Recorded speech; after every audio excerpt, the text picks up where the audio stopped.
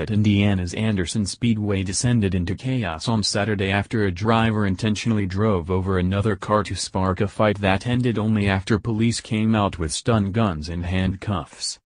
We actually had a great day of racing up until then, Anderson Speedway owner Rick Dawson told the Herald Bulletin, Anderson, Indiana, on Monday.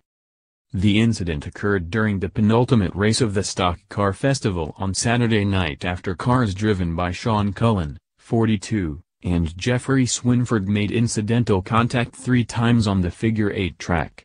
The last contact sent Cullen off the course, where he remained stopped while Swinford made his way over in his car.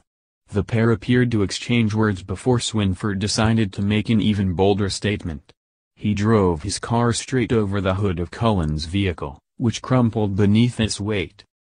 Cullen immediately popped out of the driver's side window and approached the window of Swinford's car, which remained perched atop Cullen's car. Swinford was still inside.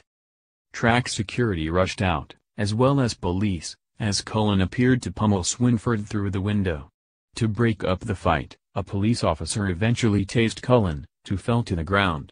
Both drivers were arrested and led off the track in handcuffs. Well, a wild night here at Anderson Speedway, the announcer says over the loudspeakers after the incident ended.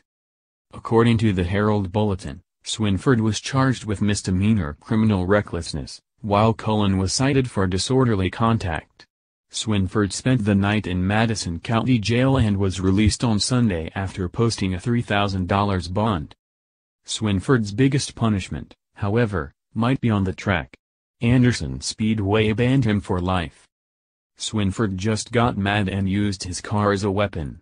We've never had anything like that happen. It's just beyond my comprehension, Dawson said. Swinford will not race at this racetrack as long as I own it, and I plan to own it for a long time. While drivers using their cars as weapons may be new for Dawson, it's been done before. NASCAR driver Carl Edwards once deliberately caused Brad Keselowski to wreck at Atlanta Motor Speedway. Edwards was given a three-race probation for the offense, which caused Keselowski's vehicle to flip and hurl into the catch fence in 2010. Keselowski was not injured in the crash.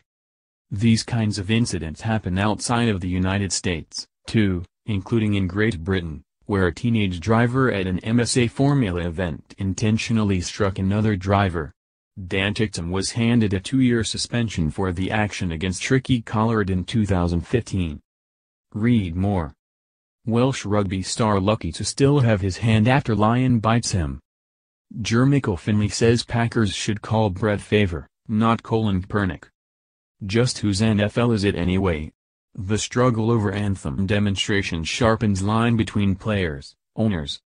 Curlers upset with American Airlines after agent allegedly denies curling is a sport.